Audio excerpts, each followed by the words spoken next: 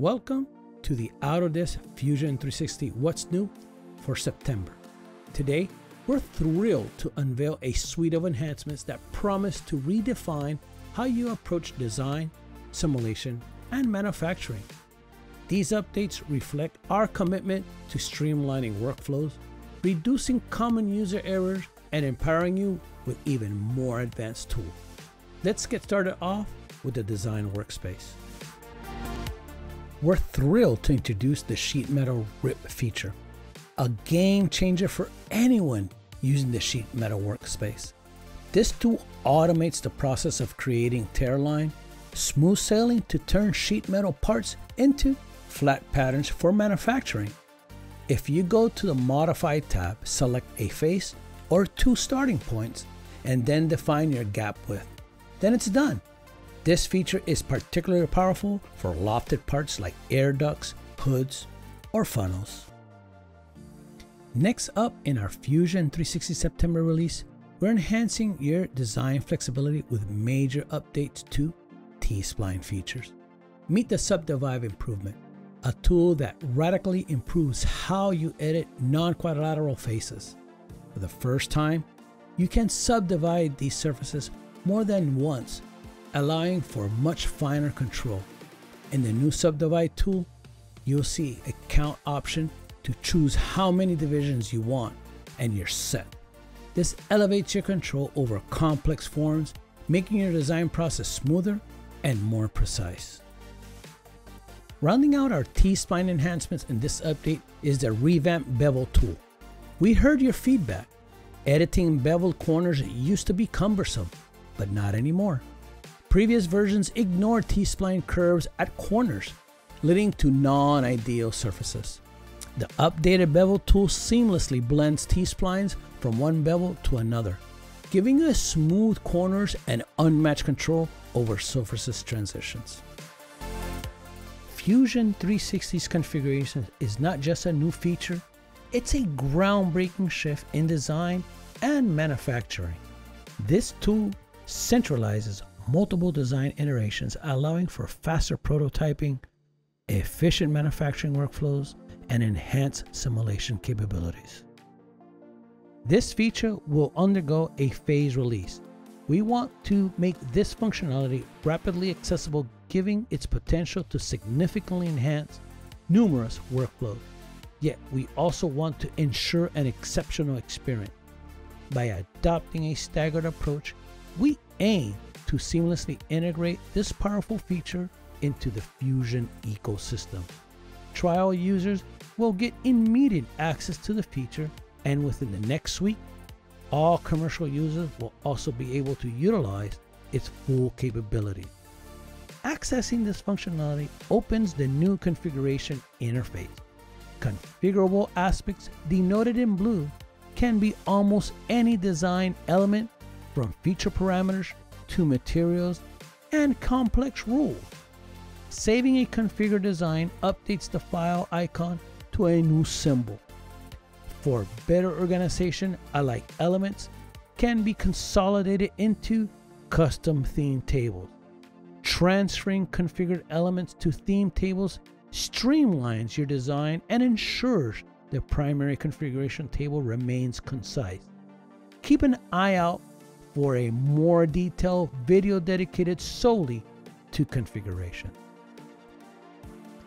We're thrilled to present some 3D Sketch enhancement. This update is all about refining the experience of working in the 3D Sketch environment. After these updates, you'll have an even greater level of control and precision in 3D space. If you're accustomed to the intuitive feel of 2D sketching, get ready to experience that same fluidity in 3D. You can now apply constraints to points and lines in 3D just like you would do in 2D, whether that's setting lines to be parallel or ensuring a point is coincident to a complex surface. Also, you can now drag items directly within the canvas. Gone are the days when you need the move command for every little adjustment. Plus, dimensioning in 3D space between points and lines is now a breeze. Now, let's shift gears to the drawing workspace. The Change Arrowhead feature offers you new, unmatched customization for your documentation. With this update, you can now choose from 19 new arrowhead shapes in addition to the default closed filled option. Whether you're working on dimensions, leaders, balloons, bend IDs, or hole IDs, these new shapes are available to give you drawing that specific touch. Closing out our updates in the drawing workspace, let's talk about custom line width, a feature that puts you in the driver's seat for how your design are presented. No longer are we settling for preset line width. Just go to document settings and set your line width groups to custom. This allows you to specify practically any width for your thin, medium, or thick line groups. Now, you can maintain a consistent style across all your drawing. To address the issue of unintended disconnections in generative design, we've introduced the disconnection filter. It automatically resolves reserved body linkage issues to prevent early solver stops. Let's also talk about configurations in the generative and simulation workspaces. The menu lets you select a specific configuration, much like how it's done in the drawing workspace. Once selected, that configuration is treated just like any other part, no additional learning curve. This means users can seamlessly simulate multiple configurations of the same design within a single file. Next up is manufacturing with quite a few new enhancements and features. This release introduces configurations in the design space. These are also available downstream in the manufacturing as well as access from drop-down menu.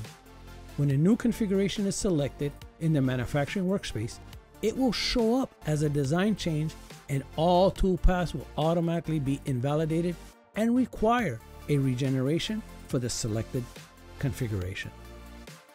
We always strive to continually improve our existing toolpath and develop new strategies.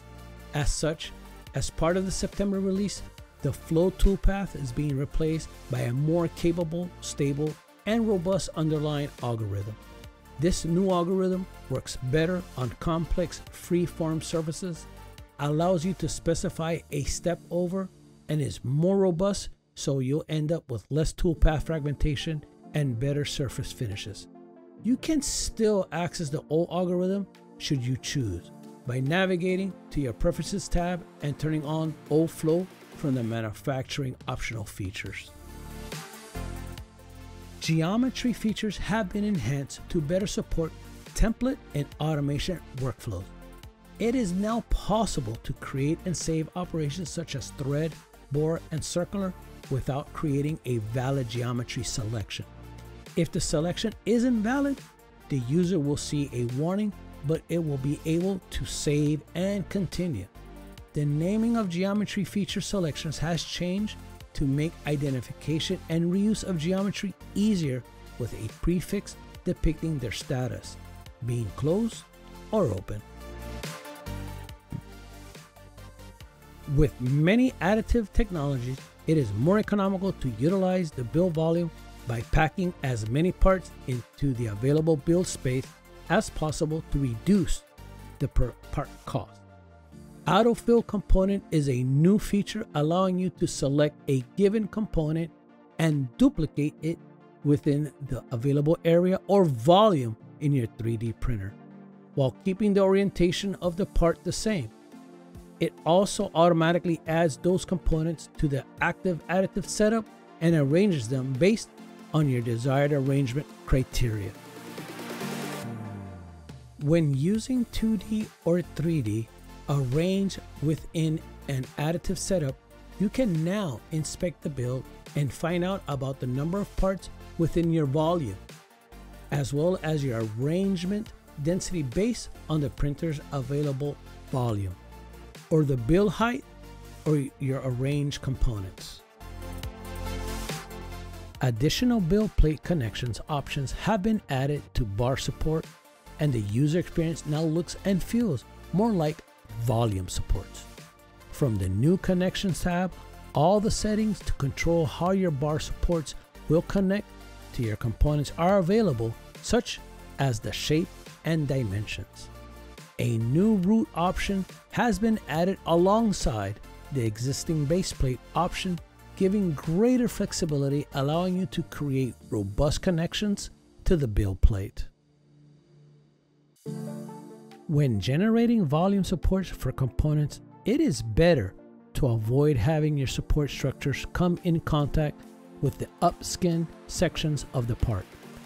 Angled volume supports are now available in the additive build extension and can be accessed from the volume support dialog. This option allows a pivot point to be introduced so that the support structure can bend around the point to keep away from critical surfaces or faces directly below the supported face. This reduces the time spent during support removal and minimizes additional post-processing steps needed to clean up blemishes had supports been in contact with critical features or faces. Multi-axis deposition toolpaths are now available in the additive build extension. These toolpaths enable you to drive multi-axis additive manufacturing machines, including metal processes such as directed energy deposition, but also polymer and concrete deposition processes. Being extremely flexible, you can create entire parts or even just add features to existing components, as well as create toolpaths for repairing components such as mold, dies, and impeller. Obviously, being in Fusion, you have the full suite of machining toolpaths. So once you've created your additive toolpath, you can pass the stock model forward to subsequent subtractive machining operations for a complete end-to-end hybrid manufacturing workflow. In a move to refine our engagement with users and streamline the testing of new features, we're introducing a pivotal shift in our preview functionality. Public previews are now transitioning to insider previews to enhance our communication channels, facilitating rapid feedback and feature enhancement. It's vital to note that access to these previews now hinges on registration with the Insider program. For those deeply integrated with specific previews like Old Flow Toolpath, they'll find these relocated to preferences.